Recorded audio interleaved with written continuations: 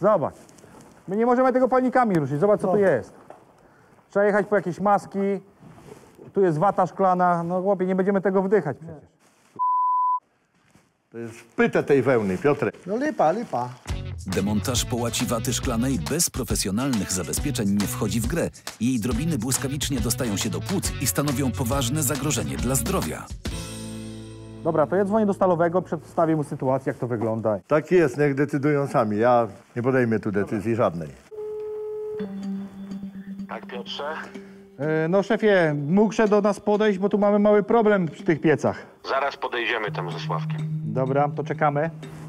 No dobra, przyjdą, to zadecydują, co, co dalej. Wiesz, ile my jej się nałykamy, Piotrek? No ja wiem. Bo on jest cały obłożony, zobacz. I u góry tak samo. Dół te. Przejechać po maski kurzowe i to dosyć dobre. Normalne maski do pracy. Panowie, co się dzieje? Jaki problem jest? No szefie, mamy problem z watą szklaną. Możemy to palnikami wszystko ruszać, ale musimy mieć zabezpieczenie, jakieś maski, coś, bo to jest wata szklana. To jest nie za, nie za zdrowe. Trzeba ją zdjąć.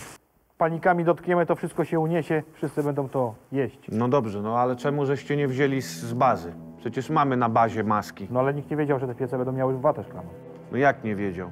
Całe życie Jacek zna się na hydraulice. I na piecach, i na piecach. ale nie wiedziałem, że one będą akurat tutaj miały to wełnę.